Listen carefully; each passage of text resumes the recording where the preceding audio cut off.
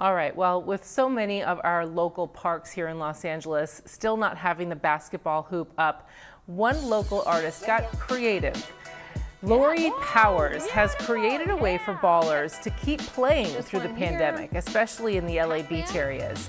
These are survival hoops, and if you haven't already seen them around, Kristin Smith has a real treat for you.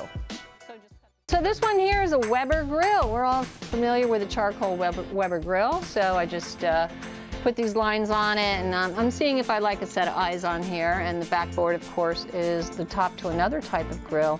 And this is a wonderful shot. And I'll tell you why, because when you put the ball in this one, it rolls around like water coming, you know, down a drain and drops. Right, right? And this one here. so survival hoops started uh, when COVID came, and all the basketball courts uh, all over the state, city, they're all closed. And for people like me who play basketball three to four nights a week, I'm a basketball junkie. I work remotely, so at nighttime I like, you know, I need something to do um, and do what I love, which is basketball.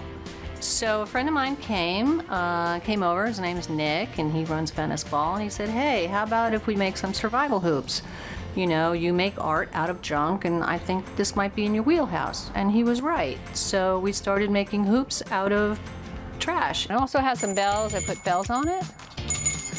So as the ball goes through, folks tell me that they really like the hoops to make noise. So I'm kind of working on a noisy theme here. Anything we found in the alleys.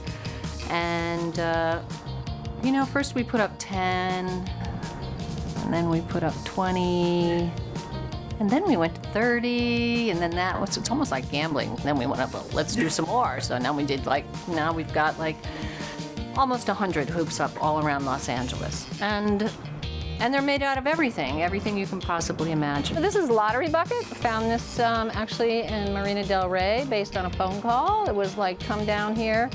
I have two chairs and the chairs were gone, but uh, there was lottery bucket here, so we just cut off the bottom and the top.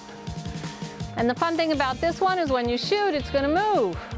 So you've really got to make that shot. From baby carriages to uh, mattresses, postal boxes. It's also building memories, which is wonderful, and fond memories, which is what I want, you know, I want to do. Creating fond memories, being creative in general and artistic, and also recycling those items that otherwise would have been, quote, trash. Very cool story, Kristin.